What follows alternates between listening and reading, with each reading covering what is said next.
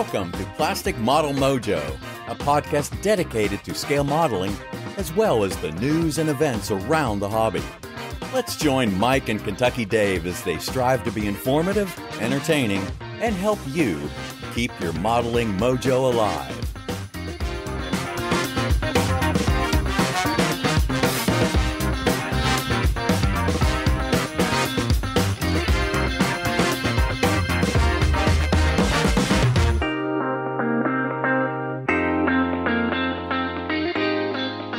All right, Dave, it's the middle of February, episode 110. Yep. We got Evan McCallum, Mr. Panzermeister 36 in the third chair. Evan, how are you doing tonight? I'm doing very well. Thank you. How you guys doing? Uh, I'm good. Dave's kind of tired. Yes, I am. I'm telling you. I wish it was because I've been modeling a ton, but no. Well, Evan, since you're in the third chair tonight and our guest, uh, what's up in your model sphere over the last few weeks?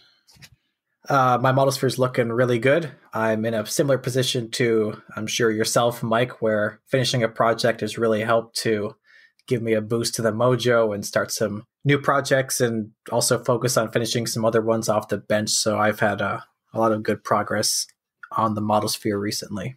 Well, that's good, man. yeah. You can tell us what you started in the uh, benchtop halftime report. hmm Maybe we don't know yet. I haven't seen a video, so who knows? What about you, Dave? Well, I got to start off my model sphere with an apology to the guys at the Mid Michigan Modelers. Back, I think it was at uh, our last 12 minute model sphere. I said the first show in Region 4 was the Columbus Blizzard Con show. That wasn't true. Guys up at Mid Michigan had one early in February. I think it might have been February 2nd, but I was unaware of it, didn't think to look at the calendar before I said it. So, my apologies to the folks at Mid Michigan. Maybe Mike and I will have to make a, a pilgrimage up there one year to see the opening show in Region 4. Other than that, my model sphere has been fractured. Let's say that. There's not a ton of focus to it. I have, as you know, I've been tearing apart my model room. I do think I've got some big progress in that regard that's going to help me moving forward. Uh, also, seeing you finish a kit actually both inspired and embarrassed me. You're 1 and 0 for the year and I'm not, but uh, I have hope. I have I have real hope. So, while it may not have been the best for the last uh, couple of weeks, I have big hope for my model sphere going forward. How about you, Mike? Well, for the non modeling related activities, I've been doing a lot of stuff uh, related to the podcast behind the scenes. We've got some ideas we're kicking around and uh, solicited some uh, information and feedback from uh, from our Patreon subscribers or supporters and right now, and I've been going through that and talking to some of those people, just trying to figure out how we're going to get from point A to point B this year, Dave, in style, man. One step at a time. One step at a time.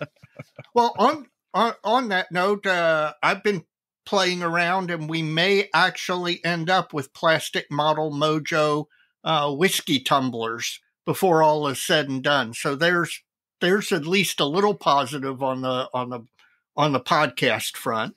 Well, and you just segued yourself. well, I was okay. Um,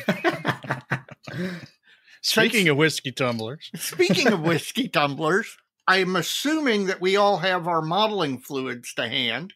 Um, Mike, what's your modeling fluid? Uh, I'm back with the old standby, the Bulleit. Oh, okay. I might have spoiled myself. It's been a little rough coming back to that one. Mo- You're more on that later. You're stepping down a price point. Uh, that's for sure. That's Yeah. what I'm drinking. Evan, what are you drinking? So I have a nice German import here. This Okay. is Zwickel Keller beer, and this is actually from Germany. My good modeling friend Hamilcar Barkus, who listens to the podcast, and uh, he's one of my YouTube modeling buddies, of course. He sent me some stuff back in October, including beer that he likes. Uh, I'm not sure if that was legal, but it made it. and uh, I've saved up one of them for a modeling fluid here. So as a Keller beer, this should be an unfiltered lager, as I take it. And the most interesting thing about it to me is that it has a resealable swivel top cork plug Oh, yeah. plastic thing, like you see on a maple syrup bottle usually. Yeah. Like it's so that they can reuse it, I guess. But Yep, a lot of a lot of European beers come with that thing with the little ceramic and and rubber stopper at the top with metal Yeah. cage that rotates it so that you can drink it and then reseal it. yeah, it's like someone made it in their basement. It's pretty cool. so I will be enjoying this. Thank you very much, Michael. yes. Right, where do how do I get a friend who'll send me beer from Germany? That that sounds like a heck of a heck of a deal. What about you, Dave? Well, I am actually doing a repeat. I know that I have actually had this as my modeling fluid once before on the podcast. This is Ace Perry Craft Cider from Ace Brewing uh, out at uh, out in California. And uh, Mike, you may remember this. I discovered Ace for the first time when you and I were at the Oklahoma City Nationals in 2003. Yeah. And we went down to Brewworks and they had this on tap. And I've been a fan ever since. So I know I'm going to enjoy this. All right. We'll catch up on all these at the end, but for now, we better like some listener mail. You got it. Some of these are questions, some aren't. Evan, you're free to comment on any of these you like, as usual. Absolutely. First up, Stuart Malone from Kansas City, Missouri. I bet he's happy if he's a football fan. Yeah, really. or a Enjoy- Taylor Swift fan for that matter. Well, whatever, man. He enjoyed meeting us in Texas and hopes to do it again in South Bend and or Madison. Well, hopefully it's going to be and. We'll, we'll see. Yes, we're, we're trying. Uh, he's asking if he could uh, get a shout out for the upcoming show, and uh, well, certainly, certainly, Stuart, we can do that. It's uh, KCCon 2024, March 9th at the Kansas City First Church of the Nazarene, 11811 State Line Road, Kansas City, Missouri. Now, there's a URL for the contest page, Dave. I'll forward that on to you. It's- That's uh, a lot easier to find in the show notes than to remember it from the episode. And they've expanded uh, their armor categories this year to have a dedicated 16th scale and larger Oh, wow. instead of 35th and larger, which I think's been customary forever. Yeah. I think that's a really good idea because a lot of those categories are getting pretty heavy with large scale stuff now with all these new kits coming out in the past three years. Yep. Yeah, there's no shortage of them, and they're starting to show up in bigger. Uh, and they take up a lot of space on the table too, so you know. well, see, and aircraft modelers went through this about 10, 12 years ago when the 32nd scale jets started to mm-hmm. become really popular.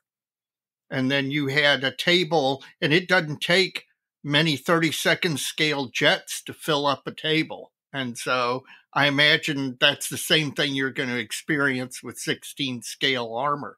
Up next, Steve Anderson from Mahtomedi, Minnesota, and uh, he says we're off to a great, great roll for 2024. Well, I hope so. Thank you for that. We're trying. We certainly are trying. Ah, he built an old Revell 48 scale 109 G10 out of a stash. He's had about 20 years.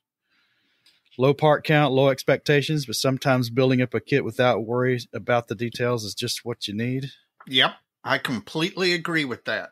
he said he wasn't, you know, much of a BF 109 guy until he kind of built this kit and it kind of flipped flipped a switch in his brain and he realized, you know, what a nice looking plane it was. So uh, he's got a question. Have you ever built a kit that made you appreciate the real thing in a new way, or have you ever built a kit that gave you more negative view of the original? Interesting. Yes. Hmm. Evan, do you have a story? Do you want to take that one first or do you want me to? Uh, you, you go ahead first. okay. It not exactly the model, but I I built that to me a mosquito. You know, the mosquito to me had never been uh, a particularly interesting aircraft. I mean, it's it's amazing the history, the the technology, and all. It just it never really spoke to me. And then back in 1988, the IPMS Nationals was in Dayton, Ohio, and they had a special uh, deal with the Air Force Museum that on Friday night after the after the museum closed, they reopened it just for people attending the, the nationals. And they took down all the ropes and opened up some of the aircraft and you could crawl inside the cockpits of, of all these aircraft. And one of the ones I got in was the mosquito that they have. And it was amazing how tiny that was. I mean, I was in street clothes, no bulky flying gear, no no parachute, no nothing. It was amazing how tight it was. I cannot imagine getting in and out of that aircraft, much less trying to get out of it in an emergency. And that kind of gave me a new appreciation for that aircraft and what they were doing. That came back to me when I built that uh, Tamiya Mosquito uh, a year or two ago, or when I finished it a year or two ago it just you looking into that tiny cockpit and then remembering back it really did. It really gave me a much more positive view of of the mosquito. What about you evan? Uh, for me mainly i will build a kit because i'm already very interested and invested in the vehicle. Mainly i've you know found a cool photo done some research beforehand and then i find the best kit. So that's generally the case. It's almost the opposite. But there have been some especially this thing I'm working on right now, which we'll get into in the, the halftime report uh, later, where it was a vehicle I knew nothing about. And then as I started to kind of get invested in the kit and decide maybe I can make this a little bit more detailed and special, I, I became more and more interested. And I've actually now ordered some other modern Chinese armored vehicles, uh, which are currently residing in Kentucky Dave's house. to be delivered for Heritage Con. yes, they are. I don't know. I I'm kind of like you, Evan. I I tend to be really heavily invested on the front end. Yeah. Uh, certainly, there's nothing I built that made me like a subject less. There may have been a kit I've built that made me like the the manufacturer less. that can always happen, right? Yeah. He's looking at you, Alan. Uh, maybe. oh, I, so no, I don't. I don't think there's one that I can think of that uh, made me appreciate it more up front or after I got into it. So I'm usually already there. All right, moving on. We got some Kentucky trivia. All right. Thomas Karen from Kearns, Utah, reminded us that the uh, first Kentucky Fried Chicken location was not in Kentucky. Yes and no. the first franchise was not. Right. It was in Salt Lake City, Utah. Yep. Indeed, and, it uh, was. And I don't think Harlan Sanders Roadside was called Kentucky Fried Chicken at all. It, so it was not. So That's right. I think but he's right.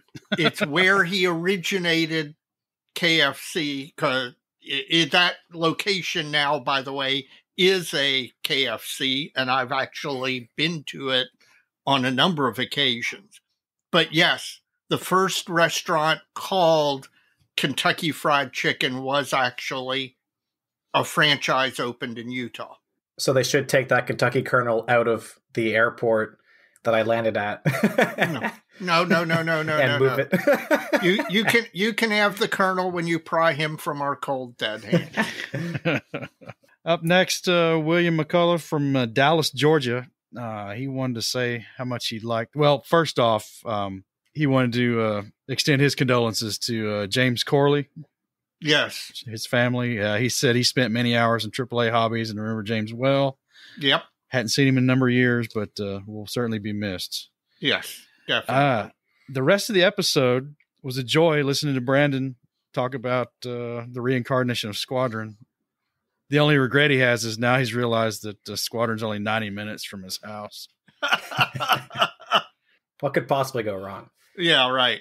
Well, he doesn't need to go to Squadron World Headquarters to have that problem. Uh, he was down at a show recently. Oh, it's the Atlanta Figure Show. I think that's yep. the one that was held in conjunction with the AMPS show too down there just last yep. weekend.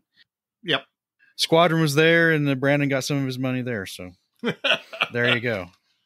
I'm going to double up here. Uh, Jonathan Bryan from uh, Croydon in the UK, and uh, actually Chris Meddings both had similar comments. Chris hit us up through the messenger. It may, it may have come directly to me. I can't remember. But anyway, uh, the, the theme was they, they saw the episode title or something that effect and uh, it being a, about a business that they really couldn't relate to, you know, Mm-hmm. they may have not ever done business with Squadron or didn't have the same nostalgic hook that it has with so many people uh, in the modeling community in, the, in, in North America and, and the United States in particular. Uh, but Brandon being such a good storyteller that uh, ended up being very enjoyable. Yep. He really does tell that story well. And I got one more on that same vein. Brandon Jacob, our Mojovian special agent, Yep. uh, same kind of comment. And actually cut a little bit out of his email and sent that to Brandon because he had some good comments. But so thank you, folks. Uh, yeah, it was kind of a different episode. It wasn't really about anybody's modeling or some technique or anything in particular. It was just uh, the story of Squadron coming back to us, and uh, we wish Brandon all the success with that. Absolutely. Don Gilman in College Station, Texas. Now, this is kind of in the friendly vein, David. It's directed toward you. Why is Dave committing to build to Mike or the listener? Dave, it's your hobby, not your job. It isn't vows to your wife. It's supposed to be fun. You sounded so pained and he felt bad. Felt your statement was misplaced. Your life, your bench, your call. Don in College Station. Well, I appreciate that. And yes, I I do think that is something that can happen to modelers that they they set goals for themselves and then when they don't reach those goals, they feel disappointed in themselves, which is the exact opposite of what you want out of a hobby. I appreciate his concern. I am taking it in the spirit that it is occurring. Actually, as far as while I haven't been making as much progress as I've wanted, my overall attitude and enjoyment of the hobby is actually better than ever. And uh, I've said it before and I'll say it again. It's really due to the, the listeners. There is now not a day that goes by that at some point during the day, I don't have a DM or a text or a Facebook post message with one or more of our listeners and it never fails to to make me happier to make the day brighter. So i appreciate his concern and yes while i am failing uh, or or not not meeting what i want to as far as modeling progress overall i'm enjoying the hobby a heck of a lot And finally, guys, from the email side of things, Mr. Michael Karnauka from New York City. okay He wants to know if we can recall a time where you saw a vendor online or at a show or even perhaps a retail location, a brick and mortar, charge a really insane amount for a kit that isn't worth what they're asking, or it may even be still in production and readily available. Oh, yes. A lot. Uh, I'll tell you what really shocks me these days is when you go into a brick and mortar hobby store and the all the kits are not just MSRP but MSRP plus that's that's something I see with some regularity. I don't know if I've seen the MSRP plus. Uh, Evan, how's things in Canada? Uh, probably a lot like it is for you guys, where kits in stores can tend to be expensive, but you can also find good deals where collections have come back into the store and they're being, you know, resold essentially. Uh, but I don't mind spending maybe a little bit more at the brick and hobby store than I would if I bought it online somewhere because I, I like to be able to fondle the the boxes in the store and look through that and also support my local business. So not exactly a big deal, but there there can sometimes be kits where you see the price and you're not really sure why it is so high. But some modern kits now they're really expensive because there's lots of goodies in there. Yep. I think for me, it's it's not just the the occasional high price you might see, like Dave said, MSRP plus. It's the how complicated it seems. You you, you can see a kit. There's like three tiers of pricing. There's there's like the the price is being offered by whatever American distributor is actually the official importer for a particular brand. Mhm. Then you got the price from uh, everybody else online. and then you got the brick and mortar price, and it can vary widely. I, I just there's a kid I picked up recently that was uh, even discounted to some degree off MSRP was still way more than uh, the online retailer who's actually the importer for that brand was selling it for. And I think some of this, Mike, has to do, and this might be a conversation for uh, Brandon. I think that back before the internet, before global trade, before eBay from China or whatever, it was much easier for manufacturers to enforce MSRP on the distributors and the distributors to enforce MSRP on manufacturer suggested retail price for those who might not know. That, that because the supply chains were very siloed, they could enforce that and discipline anyone who tried to vary from it by not supplying to them. And now, with all of this world trade and the internet and global shipping, that a lot of that control has just disappeared. Well, what's the uh, Facebook Messenger looking like? Well, we've had a few. Kevin Hedrick reached out and he knew that uh, I'm working on getting up to speed on the Cameo, and he reached out to help. He pointed me to the ability to uh, upgrade the software with a uh, price discount. He also sent me a uh, canopy mask file for the Tamiya Zero and gave me a few other helpful tips and offered to offered to do more. So that was very helpful, and that's helping my learning curve uh, with the cameo. Jeff Adair from Georgia listened to our episode, Squadron episode, and he, like like the listener who wrote in, he lives sixty to ninety minutes from Squadron's new world headquarters, and he actually DM'd some photos from the warehouse, and he said that uh, you know it's it's not unusual for him to go up and actually pick up an order at the warehouse. So that's that's mighty cool. That is really cool. oh yeah, you'd have to really be disciplined because I could see myself. Oh, it's only an hour up the road. I'll just run up there and see what. And that that could lead to bad things.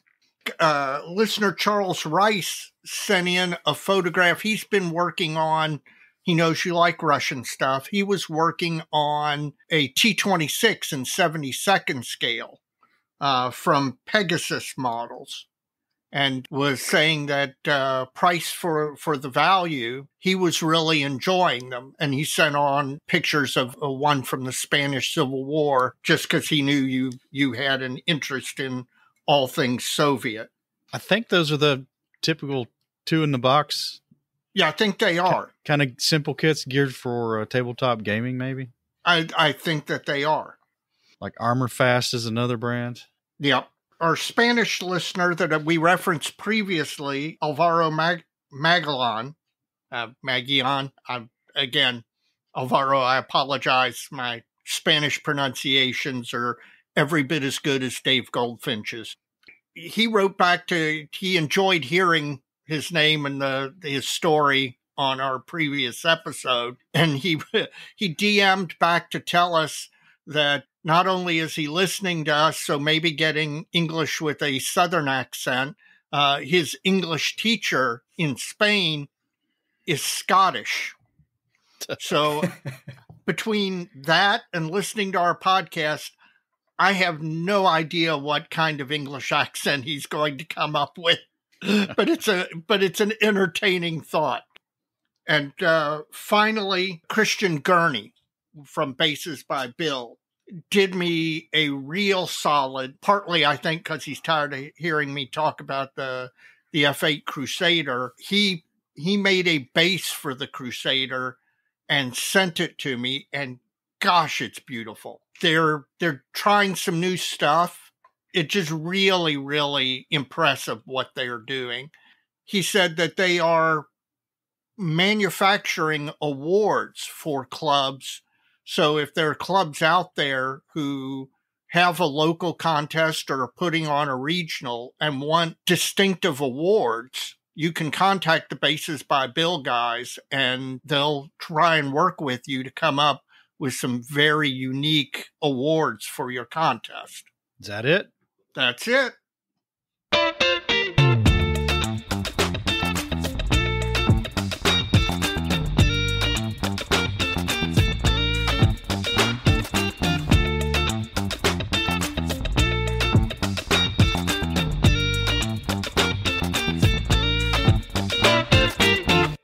When you're done listening to this episode, we'd appreciate it if you would go to Apple Podcasts or uh, whatever podcast app you listen to the to the show on, and give us a, a rating. We'd appreciate it if you rate us five stars to help us become more visible to more people. Additionally, if you would go to one of your modeling friends who does not listen to a podcast and recommend our show and maybe help them set it up so that they can start downloading podcasts, we'd appreciate it. The best way for our show to grow is a recommendation from somebody who's currently a listener. So Mike and I would appreciate it if you'd do that. And once you're done with that, please check out the other podcasts out there in the model sphere. You can do so by going to www.modelpodcasts.com. That's model podcast plural it's a consortium website set up with the help of Stuart Clark at the Scale Model Podcast up in Canada. And if you go to that URL, you can find banner links to all the podcasts out there in the model sphere participating in this spirit of cross promotion. In addition to that, please check out all our blog and YouTube friends out there as well. Got Jim Bates of Scale Canadian TV, just finished up his big show out in Seattle area and had a recent episode on YouTube. Yep. Chris Wallace, model airplane maker. You're going to check out his YouTube channel and his blog. He's always got something good. He's been finishing up that Corsair base. That's worth watching. Sprue Pie with Frets, Stephen Lee, long and short form blog. Always some good information there and uh, follow his builds. And you can also check out his long form blogs for some insight into whatever's the hot topic in the model sphere. Jeff Groves, the inch high guy, all things 72nd scale. I think he just finished up a crazy, uh, well, it's not a B 17. What is it?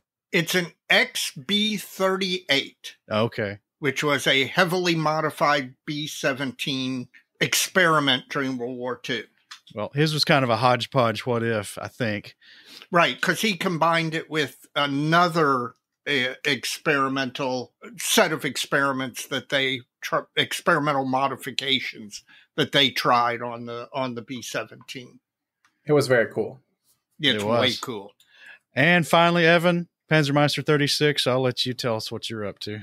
Oh, my YouTube channel is Panzermeister36, where I do mainly builds and painting and weathering of 35th scale armor, mostly World War II stuff, but some modern stuff coming soon because I found some very interesting photos that I want to replicate. So, always new stuff to try out. If you are not a member of IPMS USA, IPMS Canada, IPMS UK, or wherever you happen to live, your national IPMS chapter, please consider joining. IPMS as an organization, as an international organization, strives to make the community experience for the modeler better through the organization and support of chapters, through the coordination of contests, putting on a national contest. Most IPMS national organizations also put out a magazine. So if you're not a member, please consider joining. All right, guys, let's slip a word in from our sponsor. Plastic Model Mojo is now brought to you by Model Paint Solutions, your source for Harder Steenbeck airbrushes, David Union power tools, and laboratory grade mixing, measuring, and storage tools for use with all your model paints, be they acrylic, enamels, or lacquers. Check them out at www.modelpaintsolutions.com. All right, guys, ready to have some fun? I am ready for this. I've been, Absolutely. I've looked forward to this particular episode for a solid month. I've known we were were going to be doing it, and these are always so much fun. All right, well, folks, if you saw the uh, teaser graphic for the episode, you know we are spinning the wheel of accidental wisdom here again tonight with Evan, and uh, to give a little uh, background on what's changed. I've tried to add a little more context to the questions and set them up with a little more detail to make them a little more fun. After this episode, if folks want to submit some new ones kind of along the same lines that I've done these for this episode, uh, please submit them to us at plasticmodelmojo at gmail.com. Well, guys, let's, Let's spin the wheel. Let's go.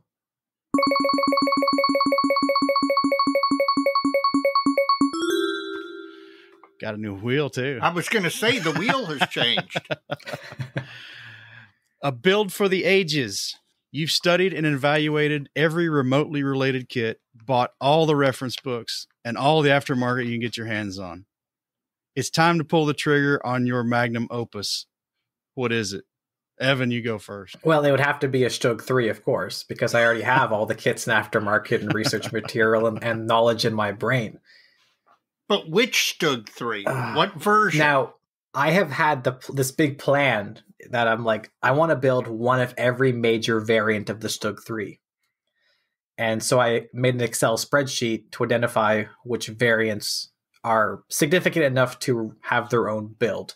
And I came up with about 36 different Holy things. So then I very quickly decided maybe not. so I might stick with just all the Ausführung G, which is only like 20 oh, major man. variants. It gets complicated. Like there's you know certain months they change things, and then you have Zimmerit, and you have two different factories making them, and there's all these changes that keep happening, different camouflage patterns, ambush camo, hard edge. It's once you start digging deep into something, you just keep finding more and more, and it almost gets more complicated and harder to narrow down exactly one one individual build at least for what I'm trying to do. So I don't think I'm ever going to actually get to that because I've already started.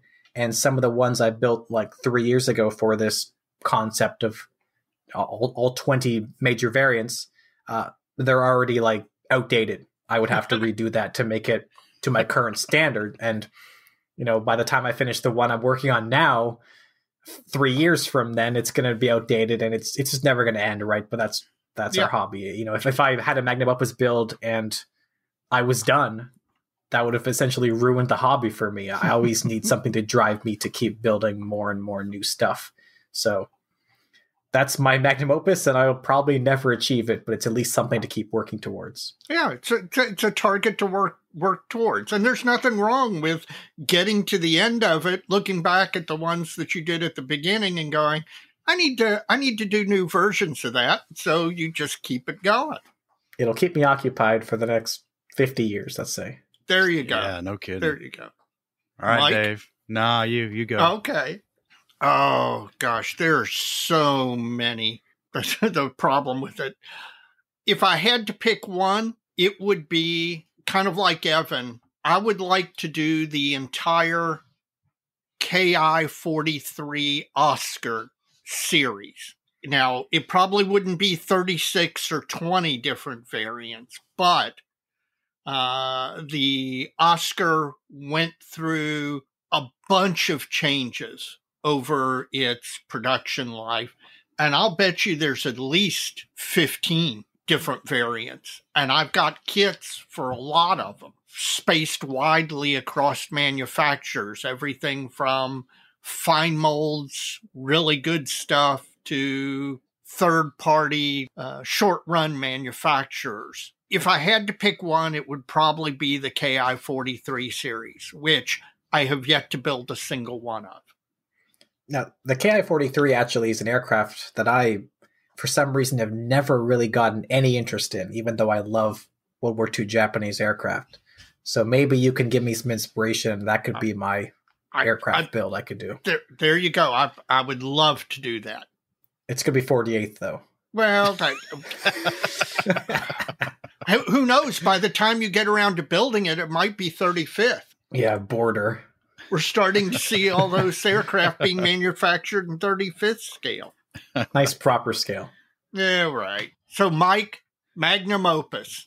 Every one of yours is a magnum opus. Well, that's not exactly true. The the one I'm really planning and putting a lot of time into thinking through it and you know, like I've always talked about before, building it in my head is this uh Zis six based Katyusha truck launcher. Hmm, yeah.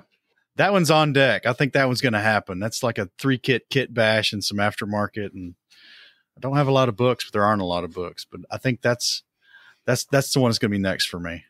I wonder how What- come there's not a lot of reference for it. I don't know. What about Which- your uh, Hungarian Rába Botond truck? Ah, See, that's that's all from scratch. That's uh, Exactly. That makes even more magnum opus because you're Exactly. doing that from nothing rather than at least from three kits. Yeah. Call me out, man. Who let him on here? yeah, I think that was You can your- have more than one magnum opus. I have 36 apparently, or at least 20. Well, the collective is your magnum opus. Yeah. yeah. No, that's true. That's just a slow going. I don't know. We'll see if that ever happens. It looks to me like you've got a tire. I almost have a tire, That's right. which is And kind and and part of a frame. You're going Uh, to get about 90% of the way through the full CAD, Yeah. and then IBG is going to announce it in 35th scale. that that could very well happen. Yeah. at least you'll be able to make some good aftermarket yourself for it. Yeah. All right, we beat that one to death. Let's do it again.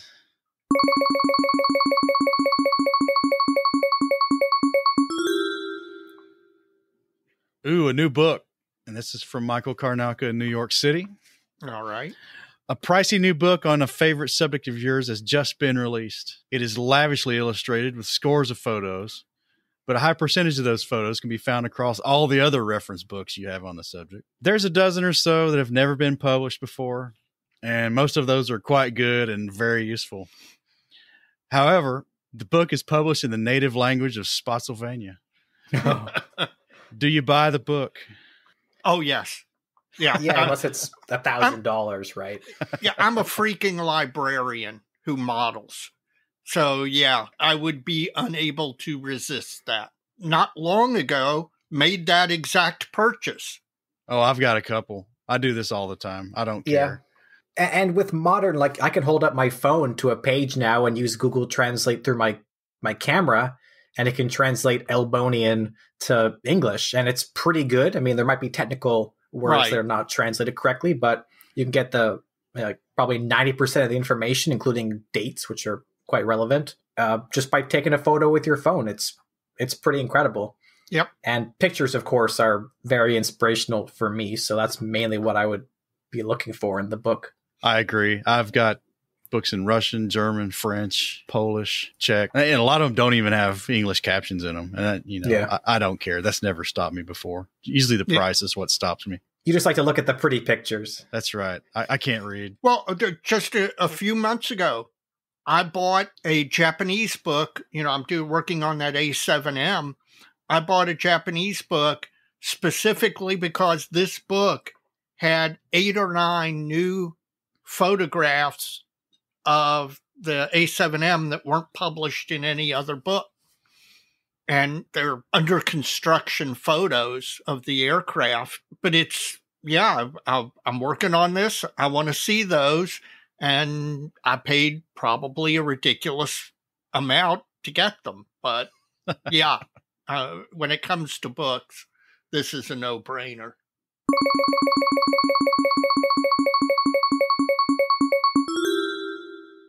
Time waits for no man. This is from Peter Kwong, Vancouver, British Columbia. Now, Evan, this is one where you're going to get a little wisdom, maybe. Okay. don't don't know what your don't know what your answer to this one's going to be, but uh, you'll have something to say. Most of us here in Mojovia dream of the builds we're going to do. We buy the subject kit at a rate that outpaces our finishes, all done with the good intent to build them someday. But alas, the road to hell is paved with good intentions. And a great sage once said, "You better learn fast, you better learn young, because someday never comes." For those modelers who are hitting sixty plus or near it, has the impending mortality changed how you approach the hobby? As the oldest person on this podcast and a person who has reached the ripe old age of 60 and gone a little past it, absolutely. 100%. In fact, uh, the builds that I intend to do this year are absolutely all model, almost all models where I have been putting them off because, you know, again, I'll build that when I get better. and I realize that I may only have 10 or 15 years of modeling in me. Then again, I may suddenly blossom into Steve Hustad and miracles happen. But assuming that's not going to happen, I'm starting to build the kits that I really want to have models of now rather than putting them off until someday. So, yes, absolutely, mortality is looking me in the face.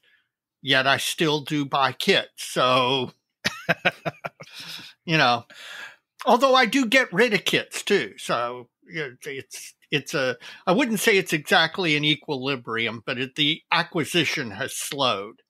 what do you think, Evan? Uh, well, as the youngest member currently on this podcast, at the ripe old age of 25, huh. uh, a knife slipped in the back. Youth is wasted on the young. uh, I, I mean, I, I think about this a little bit because I know most of my modeling buddies are much older than me, maybe twice as old as me or more. And they tell me, you know, they've had this kit in the stash for 30 years and they're never going to build it. Uh, and I don't really want to become that. I try to keep my stash quite pared down. So even now, if something's been in the stash for five years, uh, I- will sell it. I'll get rid of it. I when I once I realize I'm not going to build it, I don't think there's any value in keeping that anymore. And I don't want to become the guy with three thousand kits in his basement. So I got rid of a, a tank recently, and uh, we can get into this in the later section on what broke your wallet. But I traded it for something else, and I have no regrets. I, I initially bought it planning to build it, but I realized never going to build it, so get rid of it. That's a good, healthy attitude. Evan. I have one project I have that I keep putting off as I'll build that when I get better. Uh, only one that is in that situation. That's a Stryker mortar carrier with a full interior it's got 850 parts and there's no track links. Like that's usually 300 parts of a kit. So it's a beast. And I've got all the resin for the inside outside extras. And I need to also scratch build some ammo racks for it too or something. It's going to be almost a magnum opus build when I eventually get to it. But I try to keep things like I, I want to, if I want to build it, I'll build it. If I realize I'm not going to build it, I'll get rid of it. I, I don't like that idea of I'll build it when I get better you should probably build it now while you still have the passion and are going to enjoy it because you might decide you don't want to build that when you're better and then you've wasted all this money on the aftermarket for it. Absolutely. I think that's a good attitude. Mike? I kind of waffle. I don't think it's affected the way I build. It certainly hasn't stopped my buying, but uh, you know, I've been through phases where I've pared down the stash and now it's kind of going the other way again. I still don't have as many as I had, but uh, have you ever bought a kit, sold it, then rebought it and sold it? not not twice, but I've bought, sold, and rebought. Yeah, had, yeah. Because some interest came back, and it's probably one I should not have gotten rid of. I couldn't pass it up. You know, it's one of those deal deals, and I tell you which one it was. It was the uh, the premiere edition of the of Dragon's King Tiger with the uh, the Porsche turret version of that with one? the molded with the molded Zimmerit or the original one? Uh no, it's the original one. It's but that one's got all the the crazy the amount of all the goodies in it. The goodie card yeah. in that one's like the size of the same footprint as the box. Yep. Yeah, so I I, I bought that one again. The so. Porsche turret is the correct turret for the no, King It's Tiger. the initial turret. yes. It's the correct turret. it's the best looking one, but it's the best uh-huh. looking turret by far. shot trap or no shot trap. It does look cooler, yes.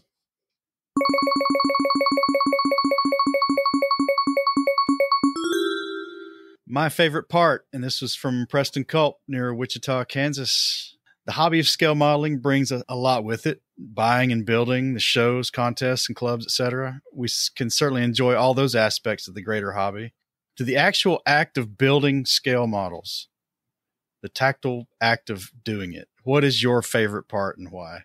I'll jump off first because it's changed. When I was young Evan's age, I was all about getting the model together, done to the point where it was getting painted and decaled. And that was the part that I enjoyed the most everything up to that point, construction was just a way to get to the point where I'm painting and finishing it. I am exactly the opposite now. I enjoy the what I refer to as the zen of construction. Cutting parts off the sprue, sanding attachment points, cleaning up, test fitting, uh, gluing together, uh, sanding. That to me is now the relaxing part of the hobby, the part I enjoy the most. Now that's led to a problem, which is I get to the painting and construction and then like, oh, I'd rather go do what I enjoy. So I'll get another kit out and start sticking pieces together. So that's a downside. Is that really a problem if what you enjoy most is building though? That that is actually that's actually true. You don't need to finish kits to be successful at this hobby. It's just a hobby, right? You're just supposed right. to be having fun. That is absolutely true. Viewed in one way, the fact that I enjoy that part of it, so I do that part of it and don't get as many finished, still does provide me enjoyment. Now, yes, I've I've got some guilt about not getting finished and as my podcast partner will tell you, finishing has a certain um mojo enhancing effect all its own. So I, I'm, I'm still working with that. But yeah, no, your point is well taken.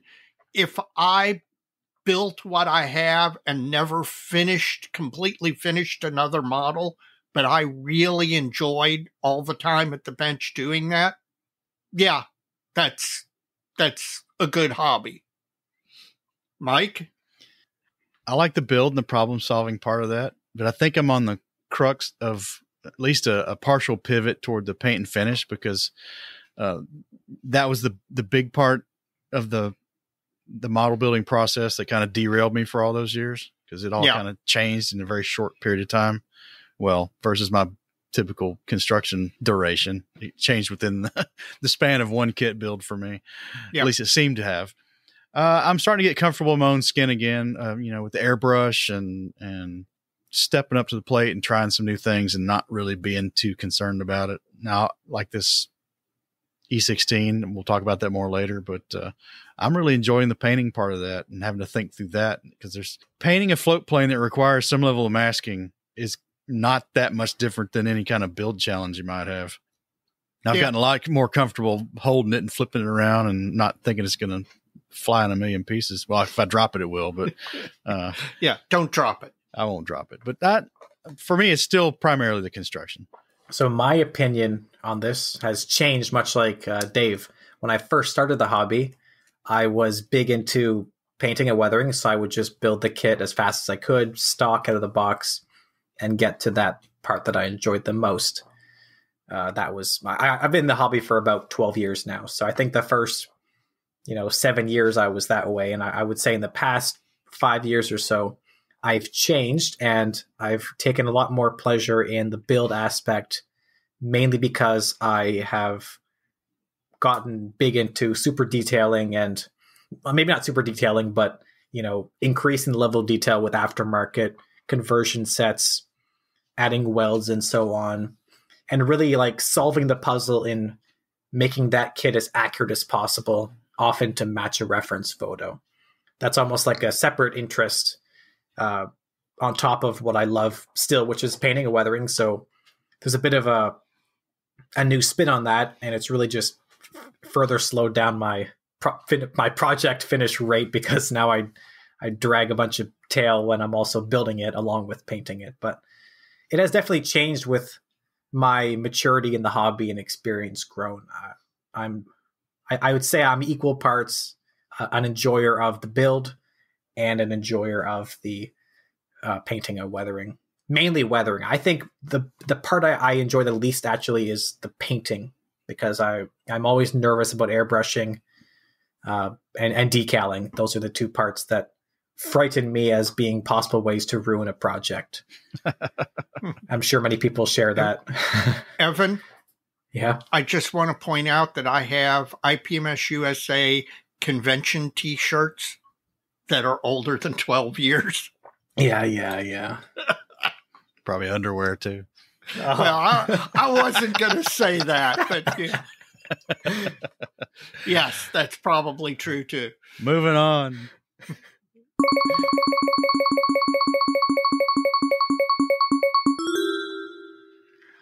Always a bridesmaid, but never a bride. This is from uh, Jeff Keenan of Buffalo, New York. We all have our must build subjects.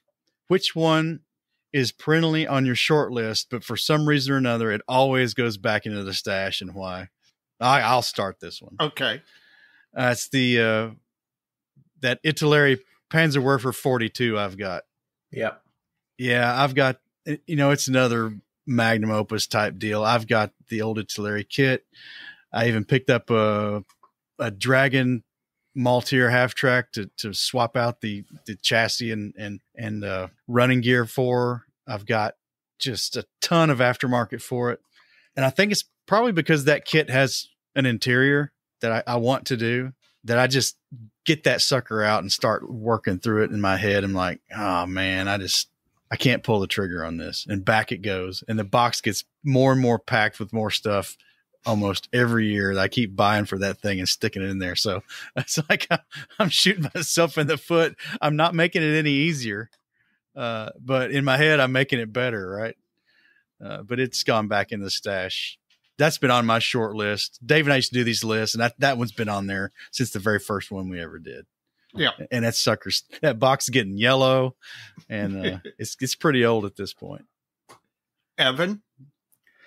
I've had the Tamiya Char B1 kit, which is Oh, by some accounts the best uh, one of the best Tamiya kits ever built because it's it's flawless and the tracks are individual link clickable. Uh, so they're not like rubber band, but they're not crazy. and it's a cool tank. I've got that, and I've got a resin conversion to make it one of the uh, German flamethrower variants that they used. Very limited, uh, and there's some cool.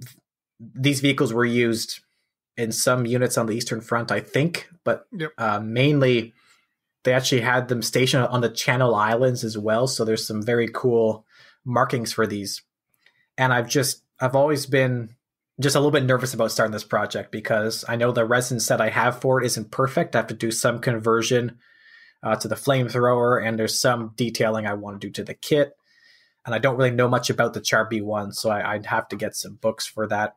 And I'm also looking for this out of production Echelon decal set for it that I can't find. And I emailed the guy who runs the company, and he said he'll reprint it soon. That was like a year ago. I emailed him again. Still waiting. So I know. So it's been looming for a while, but I just I keep putting it aside because I I don't know all the parts of the puzzle yet. Well, I thought you I knew where you were going with this because I've got one in my stash too, and I, I know what's kept me from doing it is because I want to build a French one, and it's the camouflage scheme on it. Yeah, mm, But you get to do a gray one. yeah. Well, but there are some paints like these new Atom paints I I testing recently that I've had some projects where I've also put them off because they have hard edge schemes, and now with these paints I tested, it seems like you can airbrush and brush paint them and have the f- same final color, which means that you can just airbrush it tightly, freehand, and then just take a paintbrush and go back and make that a hard edge, so you don't have to mask it. And I would be really worried about masking over all the photo etch and Yeah. and little resin bits you'd have on a model for sure. So that paint has actually knocked a few kits off of my permanently shelved uh, for fear of hard edge camo list because now I have a way to do them. What's yours, Dave? Uh, well, one that I'm going to build this year that I've been putting off forever is uh, B24D, uh, the Hasegawa kit. Just the massive size of it. Uh, it just it's it's big. It's a monster. It's got all that glazing. Of course, now the canopy masks are widely available, and if I needed to, I could cut my own. Uh, I have no excuses. This goes along to one of the previous questions. Life is getting too short. I've always wanted one or more of these B24Ds built. Uh, I've been putting it off just because it's a massive undertaking as far as the size of the model, and that that stops now. That stops in 2024. All right. Well, maybe we'll get some of this stuff built. Yeah.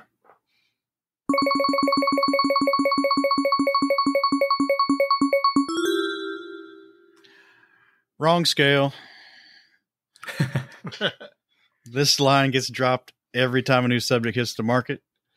We all have our preferred scale, but is there any subject that might sway you from moving off your preferences? Oh yes. Lay it on us. Yeah. Um. I okay. Seventy second scale, God's one true scale. Everybody knows all that. If I were to build a car kit, I'd build a twenty four scale car kit. I think the spirit of this one would be since you're primary primarily an aircraft builder. Aircraft, right. What aircraft would come out in in another scale other than 72nd that would tempt me? Um, Man, God, you're, hard, you're some, hardcore. Yeah, I've got I've got so many 72nd scale kits that you know, here's here's the attitude that I would have in regard to that. Is if something came out that was unavailable in 72nd scale and it came out in 48th or 32nd, I would look at my stash, I would look at all the kits that I have to build that I want to build. I mean, really on my short list want to build, knowing that those would take several years, I would probably tell myself by the time I get through all these, somebody's going to do this model in 72nd scale. Fair enough. So Dave's sticking to his guns. What about you, Evan? Uh, one of the projects I've always wanted to do is I've seen these photos of T 34s during, I believe it's Operation Uranus, when they encircled Stalingrad.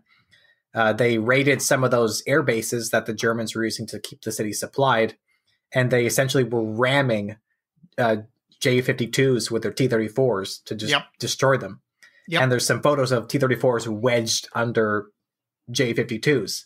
And I'm hoping and praying that border models will continue their 35th scale and do a 35th scale J52. Probably not going to happen. So, an option for me that I've considered would be to do a 48 scale J52 and a 48 scale T34. And I'm sure that there's something close enough available by Hobby Boss that I could, you know, put some Hull or, or other 48 scale photo etch on to make it accurate to my tastes. And, and I could probably make that that scene also on a smaller scale, uh, a more realistic scale and 48 scale. So that's an example of something in my mind that has had me considering a dirty 48 scale build. well, you could do it in both 48 scale and 72nd uh, no. scale. Yeah, but I want to be able to see the model, take, right? But so. oh no, take a look at Steve Hustad's dioramas. Yeah, I know. I guarantee he showed me them all at Nats, and it was actually I loved going through each of his projects because yeah. he is a, he's a wizard being able to put so much detail into such a small subject. Yep. But I can imagine what what a di- him doing a diorama of that would. In fact, you ought to send him a pic. Just email him a picture or two. That'll get get him get him thinking about it. I'm still waiting for border though, holding out. it, it, it, could happen. Somebody. It could happen. That would be a pretty big kit, though, right? That would be a huge kit. I could just do a wedge, you know, like just the there you go, the wing or something. That's actually not a bad idea. I've been thinking I could also maybe try to 3D print this or or scratch build a wing you, or something. But you could scratch is, build a wing. Aren't those made of like that ribbed duraluminum stuff? The corrugated duraluminum. Yeah, so that's going to be tricky. Well, for me, it's uh, you mentioned Steve, and I think that's kind of where this is coming from. Uh, he's kind of talked me into a 72nd scale armor project. so, so yes, I've got a photograph of I can't remember the Tiger unit, but it's sometime in 43, I think, and it's a, a Tiger one, an early type, rolling rolling past a uh, a knocked out KV1 S, and yep. uh, in in the ditch in, in the front of the tank is a German mortar crew just kind of taking it easy. And the guy's got like the one of them has the base plate strapped to his back, and the other one you can see the uh, the, the barrel carrier for the for the mortar tube. Speaking and, of that, can you imagine humping a mortar base plate all the way across Russia from the Polish border? I mean, seriously, Yeah. Gotta be tough, man. that would be a good diorama. You should do that. So I've got the kits. I've got the Vespid Tiger one. Uh, I've been picking up some of uh, those nice Preiser figures to, to do some figure work. Uh, the, the KV1S I've got from, uh, who is it? UM Yeah. makes all the KVs in the 72nd scale. Don't like it. I, I, I think I'm going to pick up a, a better KV kit from somebody else and, and convert it to a KV1S using the turret from that Yeah. thing and uh, some aftermarket wheels and stuff that are available. But uh, but yeah, that's that photograph and, and the inspiration I've gotten from Steve over the last couple of years, seeing his work at shows, has uh, made me want to give that a shot. Absolutely.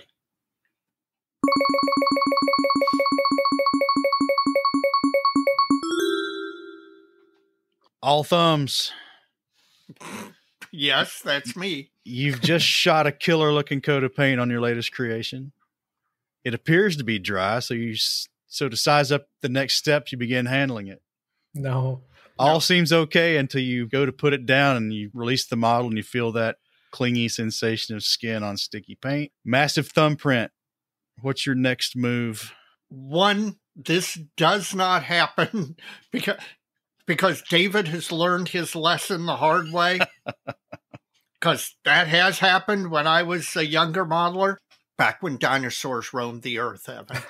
Um, uh, so when I shoot a coat of paint, I walk away from that model and I don't touch it for 24 hours. Even I don't care what what fast drying lacquer that I've just painted. I don't care how sure I am that it's a hundred percent dry. I just don't don't do it. But were I to do it, you put the model down, you walk away, you come back the next day when it is dry, and you sand it and buff it and reshoot it. It's there. The older I get, the more I learn that there are very few mistakes, accidents, problems that you can't fix. And actually, most of the fixes turn out to be a whole lot easier than you thought they were. So I'm a bit different. Uh, maybe not in this exact scenario, but when I mess up, I cannot walk away. I have to fix it before I can walk away because Yes, otherwise was- it'll haunt me. That was younger me. But if I break something, I fix it. I, I will almost like punish myself and say, "No, we're not done until we fix the mistake," because otherwise, and and maybe I've dropped the part, you know, or maybe I need something that's currently still flexible or something. I need to finish it now. It's still fresh in my mind. Now, if I put a thumbprint in the paint, I don't think I could really fix it immediately unless, you know, maybe I could spray on. Like maybe if you had a, a clear coat mess up, you could just hit it with some some lacquer thinner right away to help wh- when it's still setting. Essentially, that can sometimes help. Uh, so with the with the thumbprint, yeah, it'd have to be a. This is going to be a tomorrow sand reprime paint, Yeah, I think it depends on what kind of paint you used. but it would haunt me all day. I have I have learned Evan everything you described was me 20 years ago. And I've just learned through the hard lesson of time not not not to let it haunt me. Just walk away from it go read a book and and forget about it and come back to it fresh the next day I think I did that once and I forgot about it too much, and then I I didn't fix the thing I was supposed to before continuing, and and for Oh. that reason now I don't trust myself. I will fix any mistake if possible. I'll fix it right away because I still am in the situation involved in it. Everything's still maybe more easy to to solve. Uh, now that I don't get easily frustrated in a way I'm going to break it like in, rage. So if that's a if you get really mad then you're going to break something and make it worse then definitely put it away right it's it's everybody has their own the way of, of solving it i guess yeah Uh, I'm I'm the wait till tomorrow guy because I've had too many just cascade trying to fix something. A fu- Yeah. thumbprint, it sucks. I, but I tell you, here recently, I can't remember which which one was it. I think it was the E16. Um, I had a minor one on the underside of uh, the fuselage, right where the uh, wing root for the trailing edges come come into the uh, the bottom of the fuselage, and it was another use for those lens, this cloth lens cleaning cloth, lens cl- lens cloths. Yeah, this cloth, uh, those soft lens cleaning cloths Mhm. Uh, um, the stuff wasn't sticky, but it must have been soft enough to take my thumbprint without actually sticking to my skin. And Yeah. uh, I was able to buff it out with that thing. Yeah, And I, I got real lucky there because uh, ages ago, if, if I'd had a major paint problem, I would just strip the thing. And if, if you're using Tamiya paints in particular, it's, that's really easy to do with like 90, 90 plus percent alcohol it'll come off in like a split second. But the problem is now I'm using like Mr. Surfacer all the time and Tamiya putty all the time, and uh, Yeah. you get into where you're going to take a, take out all your your fill and sand work too. So, Yeah. um, best to chill out and hopefully you can come back and hit it with some sandpaper and, and reshoot it. So, By the way, that's a good point that you make. And again, I, I would argue an argument for walking away. If you make a mistake like that, I think there's a frustration you can get into where you- where you're like, well, damn, I'll just strip the whole thing. When that's not necessary in most cases. That's uh, if it's a localized problem, you can localize fix it and generally blends into the original paintwork totally fine.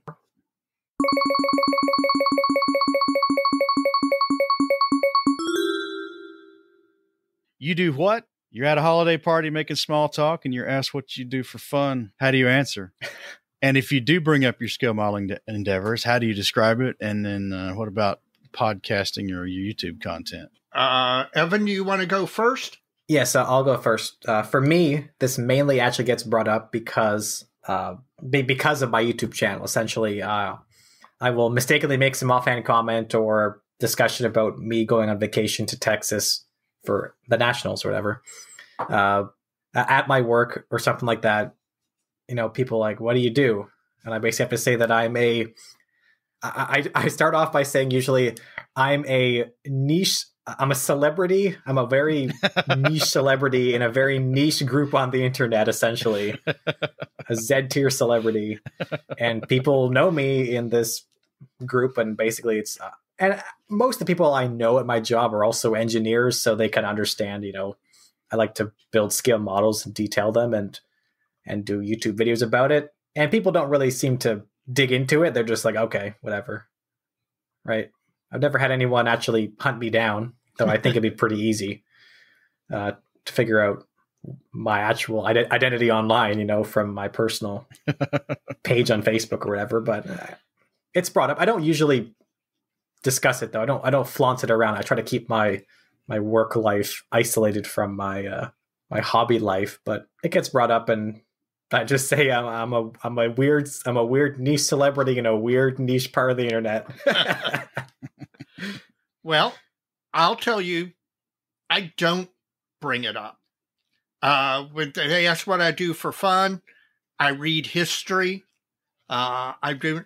I don't bring up the scale modeling, and I think it's probably because it's so difficult to to convey. It's not like, oh, well, I golf or I play tennis or I. It, it's more along the lines of I collect postage stamps or I collect coins or you know one of those hobbies that are uh, more about collecting and Mm. and it just I I just don't bring it up if somebody asks what I do for fun I really I don't generally mention scale modeling I used to be bashful about it and not talk about it too much. I don't care anymore.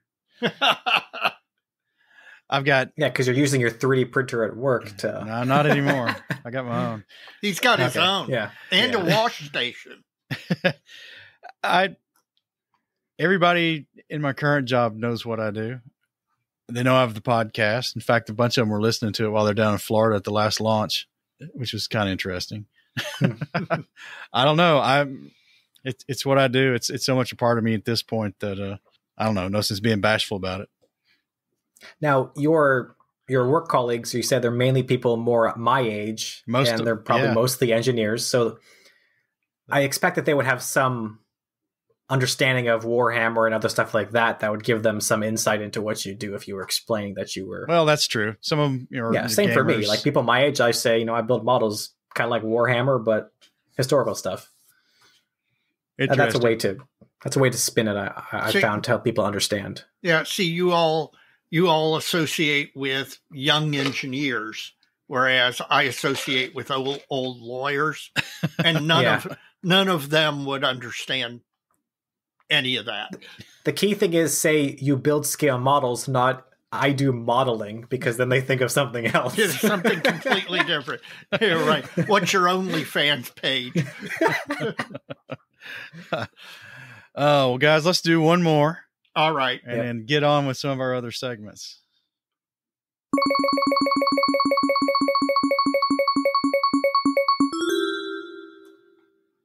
Crap, I dropped a part. You're into the nitty gritty of your latest detailing effort, and oops, a part fell to the floor or zings from the grass of your tweezers into oblivion. What protocol do you implement?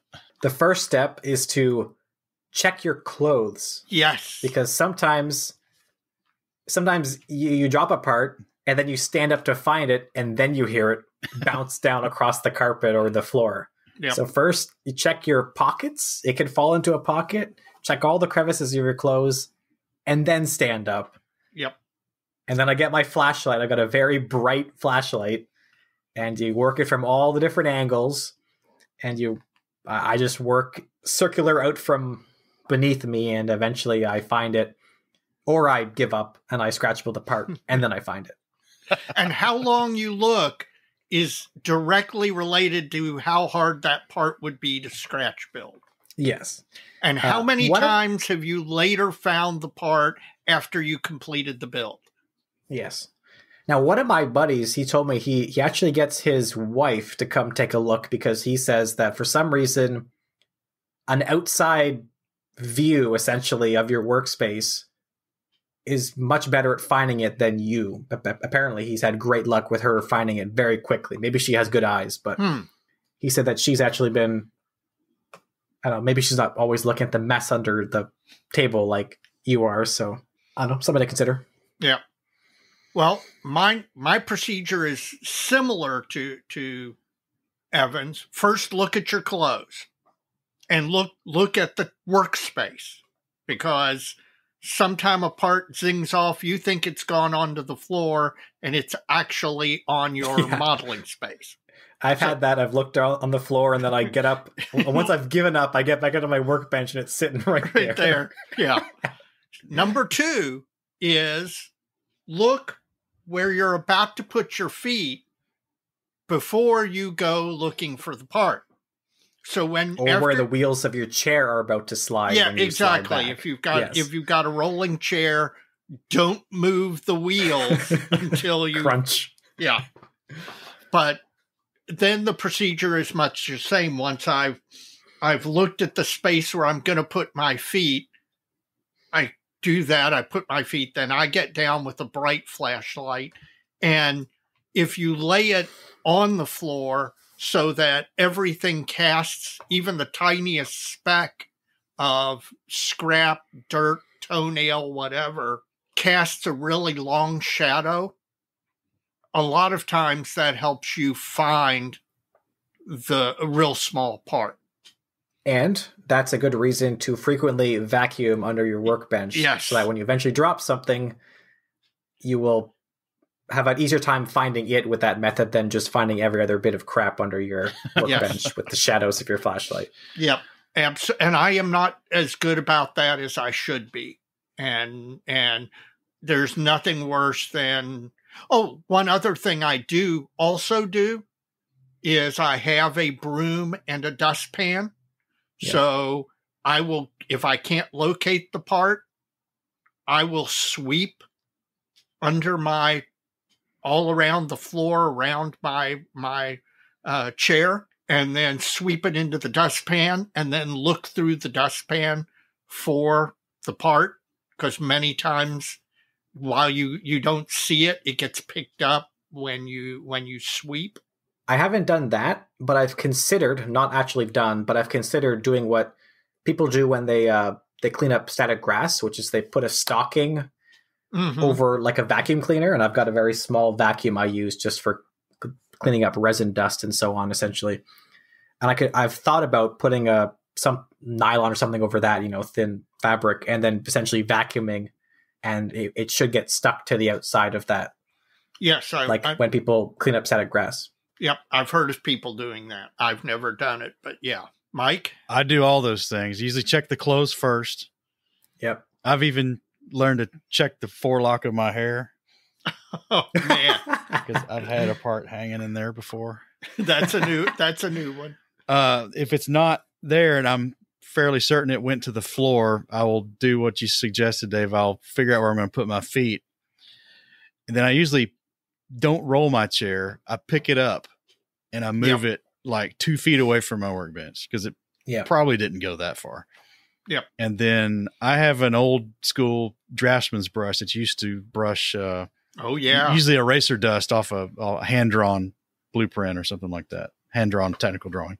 Yeah. Uh, real soft horsehair brush, long bristles, really dense, and I get down and I sweep that in the dustpan. I usually find it. The the. I tell you what, for me, what's worse than the floor is if, if it pings off and goes toward the the far side of my workbench.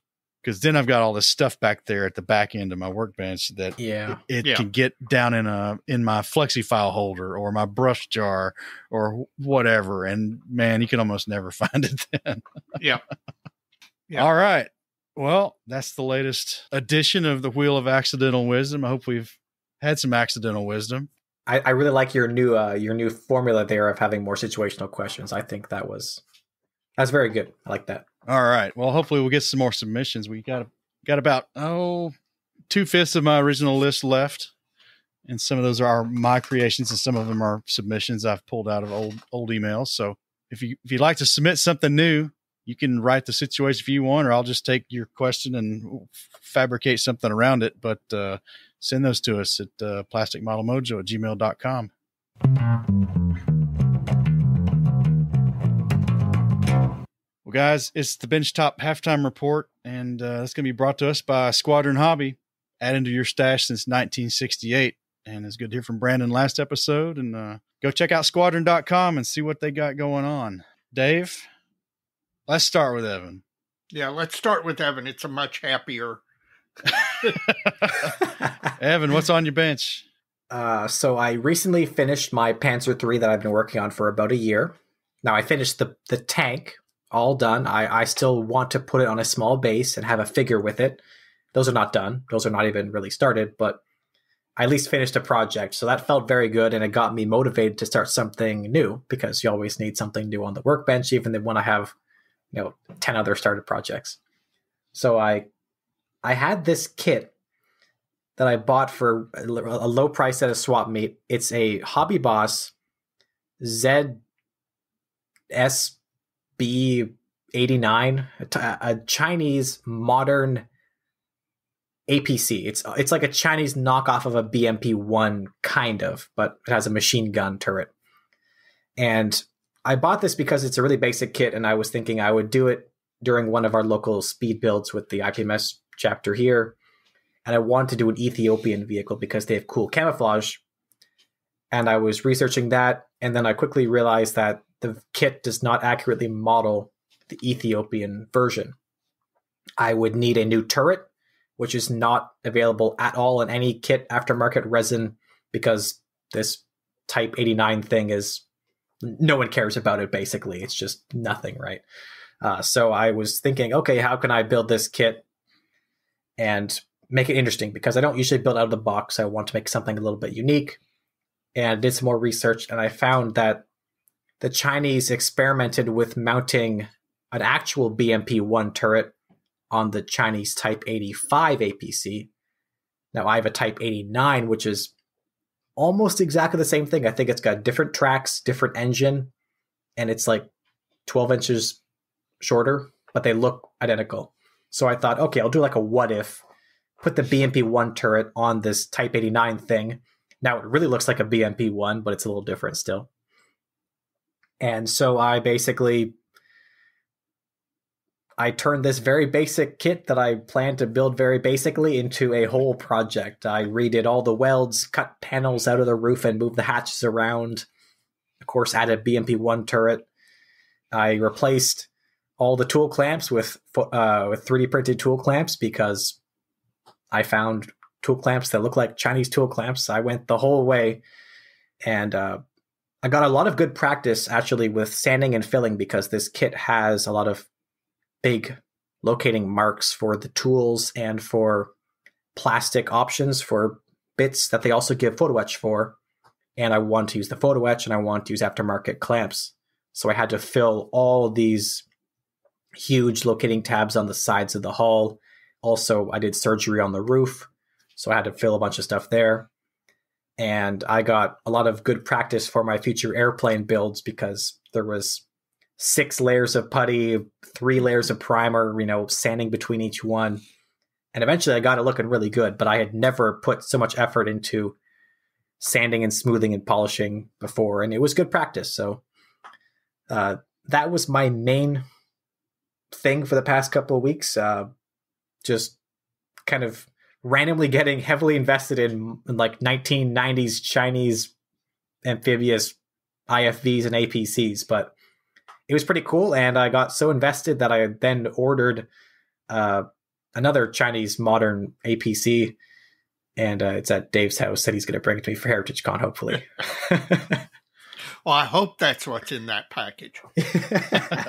I've also um, I've also had some figures that I've kind of mounted and gotten ready to start painting because my new plan for this year is I want to get more of my projects with a, a, paired with a figure or two and on a small base because that's a nicer way to present a model.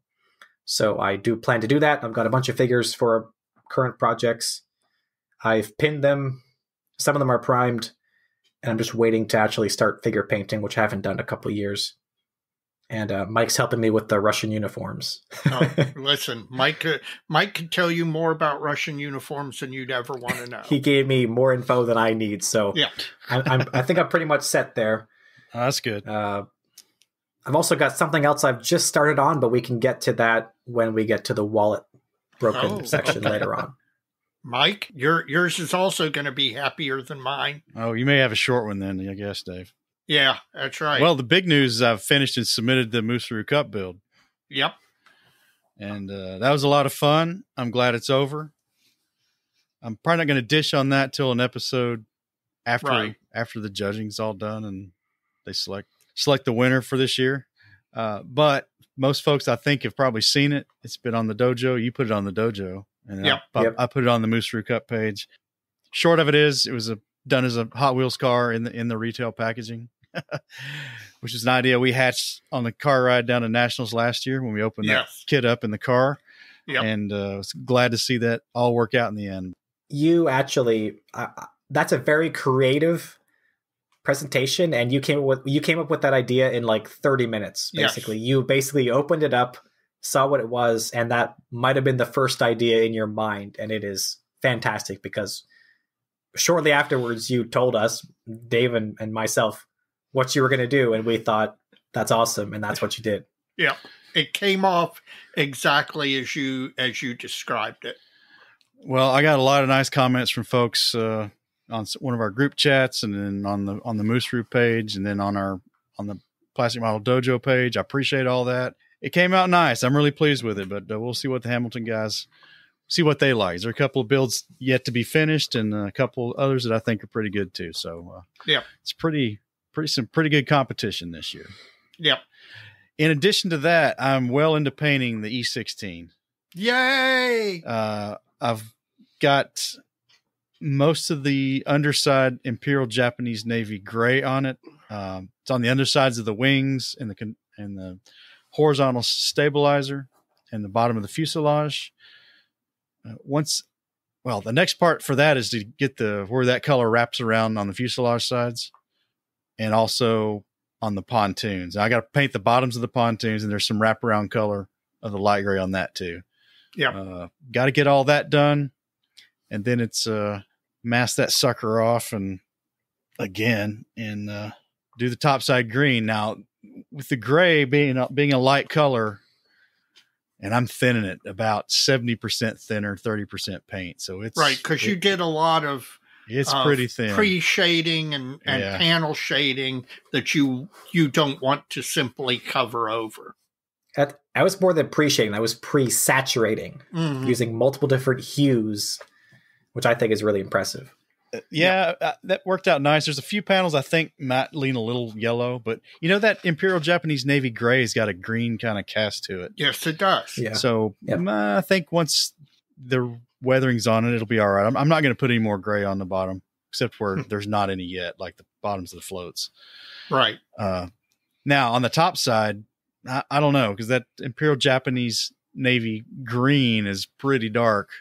It's it's a very pigment dense color. So again, I was talking to Steve Hustad about what I was doing there, and uh, he suggested I lighten the color anyway. Yep, And, I uh, agree with him. I'll probably do that. And then uh, I don't know if it'll be 70 30. I may do some experimentation and see just how far down I can take that and still get, still, still have it be effectively paint, right? Right. Well, uh, that's what scrap plastic is made for. Yeah. Well, I, I've got my paint mule tool too. So, Yeah. Um, maybe 80 20. I don't know. 85 15. Uh, 90 10 even. I don't know. Could go either way. yeah. uh, I'm I'm enjoying that. Um, just getting back into my comfortable again, getting comfortable in my own skin with with the painting and airbrushing because when I was doing the railroad cars, that was like second nature, pretty fearless, and uh, of course those aren't typically very hard. I mean, a lot of them are one color even, Right. Uh, and but I was doing some locomotives on commission that were a lot more complicated than a, than a rail car. But this this is taking a lot of uh, a lot of masking tape. Oh, it does. The aircraft models take a lot of masking. Yeah, there's no question. Uh, other than those two, I don't think I've done much else. The Well, uh, you've got one more. You've got the the KV85 base, where you uh, but I've only I've only base coated the ties in dark gray. right, and so- you your next step is to what? to do some mottling of uh, light gray. I've got a my notes say it's uh, Tamiya sky gray or yeah, it's a sky gray and buff or white and buff. I can't remember. I got it written down somewhere. Uh, I think, in fact, I have the paint mixed up in a dropper bottle already. So that's the next step. That's going to Yep. take a while. Um, Yep. I'm also thinking about putting the the uh, the finished sides on the on the base before I get too much further. I think after I paint the ties and rails, I'm going to do that. Yeah, well, I- that's I think that's the way that night shift tends to do it, just as a, a reference point. So that's what I've been working on. Dave, what have you not been working on? Yeah, I was going to say, boy, c- compared to that, mine is rather sad. Uh, I, the the last two or three weeks uh, between work, which uh, the this is a busier time of year for us attorneys, um, between finally starting to cut stuff with the cameo to get used to the software and, and stuff like that and rearranging my model room because I wasn't making progress and I figured out that the way my model room was was set up was part of the problem. I haven't made a ton of progress on the actual benchtop. What I did do is uh, I've got more progress made on the LCM3 weathering. Uh, in fact, I'm to the point where another good session or two, and that's going to be done. I've finished the engine for the A7M, and I really like the way it came out. Now, in theory, it's going to be hidden behind an impeller, kind of like the impeller on a Focke-Wulf 190, the radial engine Focke-Wulfs. They had the uh, impeller fan in front of behind the spinner in front of the engine face to help increase cooling. Uh, this aircraft actually had that uh, that same setup, so a lot of that engine may not be visible, but really, I I, I kind of wanted to do it just to to play with it. I'm not a big fan of normally of of adding or painting detail that nobody's going to be able to see. But I kind of made an exception in this case because I want to get better with painting and weathering engines uh, and trying to get a more realistic look out of them. So I did that. And uh, that's about it. That's about it. Not as not a lot of progress, but I'm gonna I I Mike, I think I'm going to have to use you as my accountability buddy again and start committing to getting a certain number of bench hours a week because that really did work when we did it just as an experiment. So I think I'm going to try that again. You heard him, Mike. Crack the whip. But don't don't promise me you're going to finish stuff because we don't want to make. Uh... That's right. I don't want to write checks my body can't cash. That's right. Don't want Don to have to write in again. Yeah, that's right. Keep you straight, man.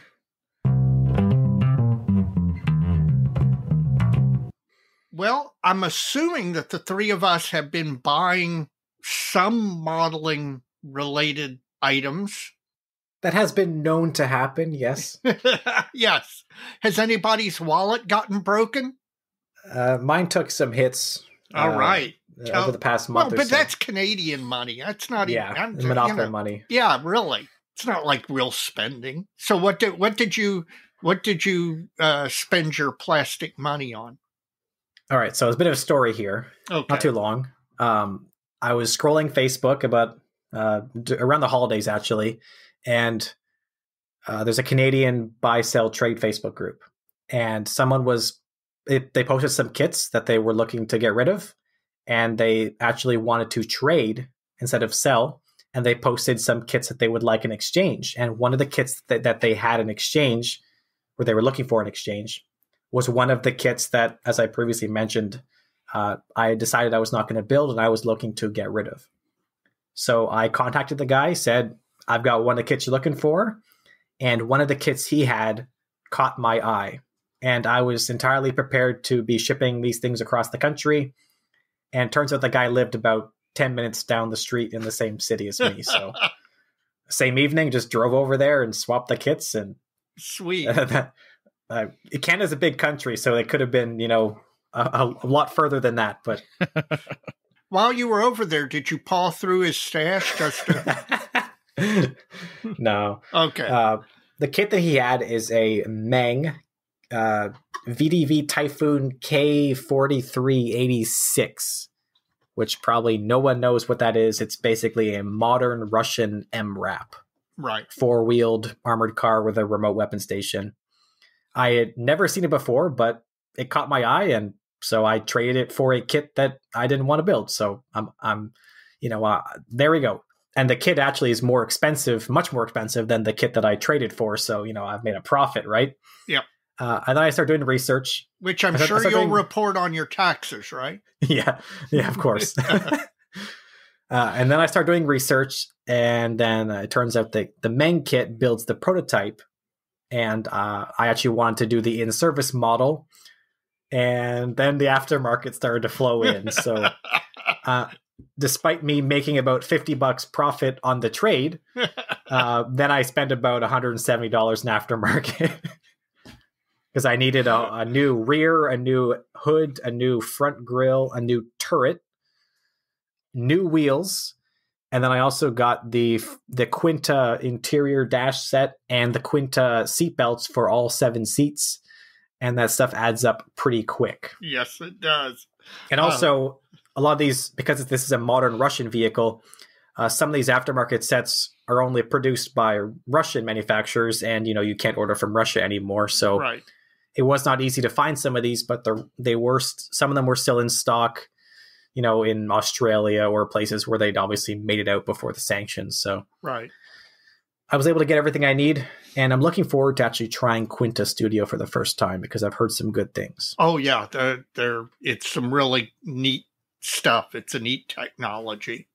So this will be my first major resin conversion, and uh, I've actually already started slicing some parts off the kit just to play around with it. But it's looking pretty good. The the Meng base kit is excellent.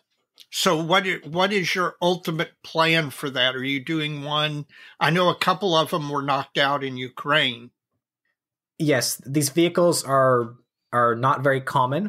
Uh, Right. It's it's a VDV exclusive vehicle, so that's the Russian paratroopers, right? Right. Uh, uh, so I found a few photos of them in Ukraine, uh, mainly on the side of the road. You know, Mhm. so I'm probably going to do something like that. I, I want to do something relatively tasteful, but we'll see. I don't want to do any of those, you know, gory ambushed convoys. So we'll see. Uh, it's a cool vehicle, and I have been interested in doing some Ukraine war stuff. So we'll see how that goes.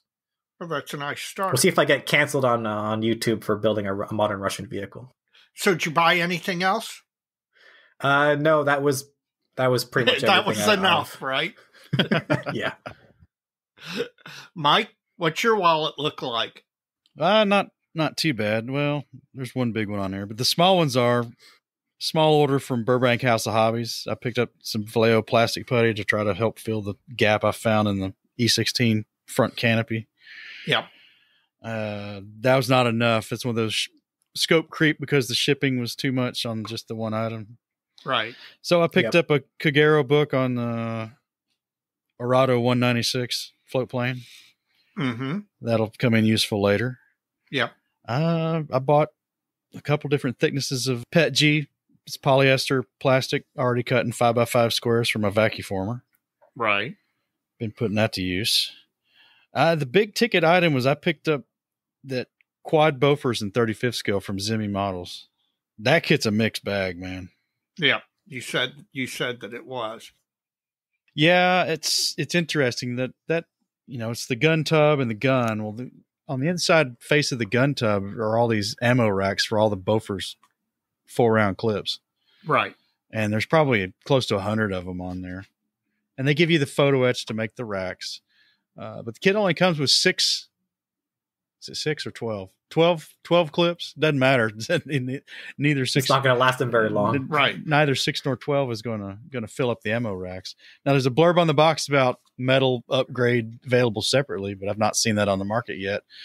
And I bet you that doesn't have a hundred hundred clips worth of, of rounds in it either. So uh, it's a little disheartening because the box art shows the uh, ammo sto- storage completely full. Uh, once you get the to the part of the instructions where you build up the ammo racks, they never show you putting them in, but all the subsequent isometric drawings of the kit being assembled have all the ammo racks full. And all the painting guide has the ammo racks full. So I don't know. It's kind of the second time uh, one of these new kits out of Asia has had something in the CAD work, if not on the box art and in the instructions that actually wasn't in the kit. Uh, the is the Vespid Tiger One kit in 72nd scale. Now, I guess it's a tiny detail. Maybe they just didn't have a way to do it. Uh, but that kit's missing the track change cable, which is kind of a signature Tiger One kind of hole fitting, in my opinion. Yeah. Uh, it's it's in the CAD on the side of the box. The kit has all the all the mounting points for that cable molded onto the hull side, but there's no cable. So you got a little work to do there if you want to have the track change cable in that kit. But again, I don't know what's up with the Zimi Bofors kit. The kit detail wise is okay. It's not great. Um, the thing that stands out the most in my mind is the gun shield. It's got all the rivet detail on the outward facing side, but on the inside, there's no rivets. The other side of the rivets aren't there. The batten strips for the rivets aren't there. Right. Um, some if you want to, and it's going to be visible. Oh, that's way visible. Yeah, so you're going to want to fix that. But still, it's it's an interesting subject, and I think the scale's kind of a good scale for it. Yeah. Maybe there's be some figure sets come out for it soon. Oh, I, hopefully. I I'm sure there will. Well, what have you bought, Dave? Well, actually, the one upside of me not getting much done on the bench is that I haven't been out spending a lot for uh, modeling either. I really, the only thing I bought in the last three or four weeks was I was at Michael's and uh, I I was picking up some cheap brushes because I'm doing some glass etching related to the cameo where I'm I'm trying to come up with plastic model mojo whiskey tumblers. So I needed some cheap brushes. So I went over there to get cheap brushes uh, to put on the, the etching paste on the glass. And while I was there, their entire model section was 40% off. And they had Bandai Star Wars kits and they had a Bandai X Wing. And, you know, I can see myself eventually doing one of those. So 40% off was something that I couldn't pass up. So I went ahead and bought it. Got your trigger point. yes, that's exactly what they did. And so I ended up with that. So now I have a Star Wars X Wing, which is the only Star Wars kit in my entire stash. But that's all I bought. No, it's not. He forgot something, Evan. What did I forget? You bought a clear prop MiG 23. Oh, God, yes, you're right. Your wallet's you're... still steaming from that. Oh, yes. yeah. Ouch. How did I? I I must have blanked that out of my memory. It was so traumatic. Yeah, it was because it was not cheap. The one I love Clear Prop. I love the stuff they do. I like their their subject matter. Their kits are really nice kits, but they're not cheap. And the local hobby shop had a, a MiG 23 ML or MLA that was a uh, retail price of like $57. I I'm a sucker for the MiG 23. Now, this isn't the version that I want. I'm hoping that they're going to the to release the original MiG 23M or MF uh, which was the first fighter version, whereas the ML or MLA was one of the later versions. Uh, the Flogger G as opposed to the Flogger as opposed to the Flogger C. But yeah, you're right, Mike. I'm, I'm the trauma must have caused me to to completely blank. Now, the plus side is you can do both Cuban and North Korean MiG 23s. And both of those schemes are pretty cool.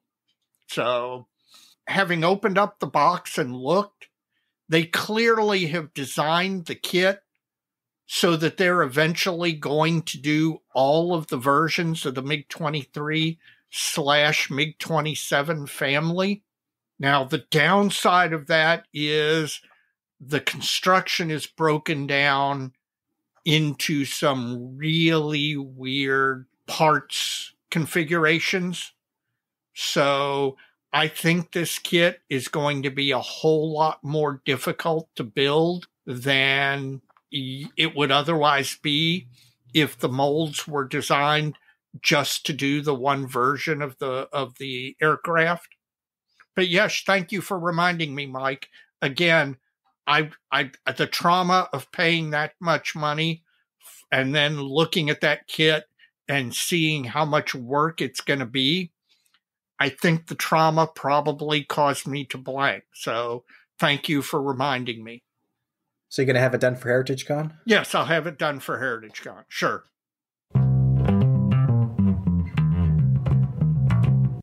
Gentlemen, we are at the end of the episode. I am assuming that we are also all at the end of our modeling fluid. Evan, how was that German beer? It was absolutely fantastic. One of the best beers I've ever had. Again, that was the Aktien Zwickel Keller beer. So a nice, hazy, unfiltered, kind of ambery lager. Just absolutely fantastic. Let's let's face it. The central Central Europeans know their beer. Yeah, especially the Germans. The Germans really do know their beer. So it didn't surprise me that turned out to be good. Hamilcar, great job and if you want to mail beer to me, you're welcome to mail beer to me at any time. if he's coming to you better pack that check bag full. Yeah, that's right. That's right. so, Mike, uh, uh, I think we can assume that the Bulleit was good, although compared to the Russells, I'm sure it was not quite the same experience. Well, it was that other one I had, which I, the name is escaping me. Oh, the uh, oh Pursuit. Yeah, the Pursuit. The Pursuit was kind of sweet. So coming back to this spice heavy, rye heavy bourbon, that's that's what it is. It's just it's it's good. After a couple sips, I was fine. It's like an old friend was back, but not the same experience. I completely understand. Uh, the Ace Pear cider was fantastic. It always is. Uh, again, I'm I, I'm a cider fan, so I enjoy ciders, and Ace Pear is just a really really good cider. And again, five percent alcohol by volume, so very very light. Uh, you're not gonna it's not gonna hit you in the back of the head or anything. So good experience.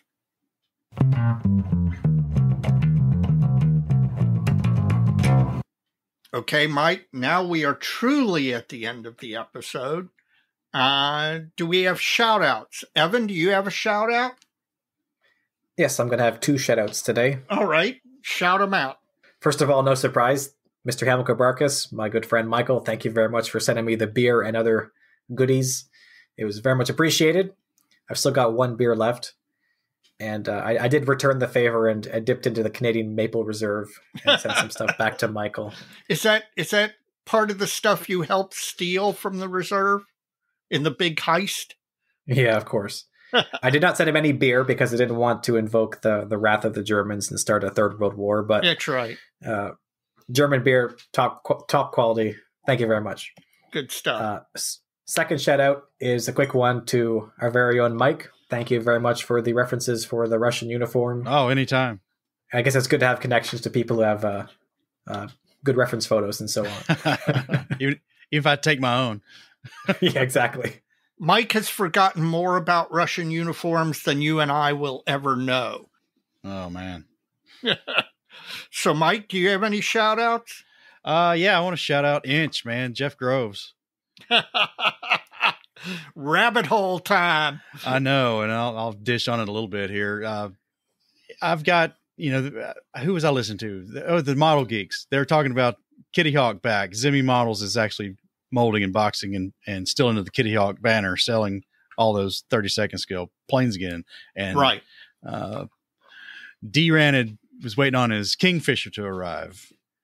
And, you know, I've already got one of those. Right and I want to do one in 30 second scale. I want to do one in 70 second scale.